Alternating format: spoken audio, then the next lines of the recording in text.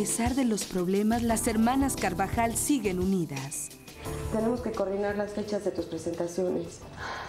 Ya hice una cita con tu representante. Ay, qué, qué bueno. La vida de lujo se empieza a causar problemas con Talita. No tienes permiso, Talita. Bueno, ¿hasta cuándo me van a tratar como una niña, eh? Soy una profesional que gana su dinero. Adiós. La felicidad es aparente, pero Elena no podrá ocultar su dolor por mucho tiempo. Si Talita tiene razón. Si Juan Alberto quería vengarse de mí por haberlo rechazado.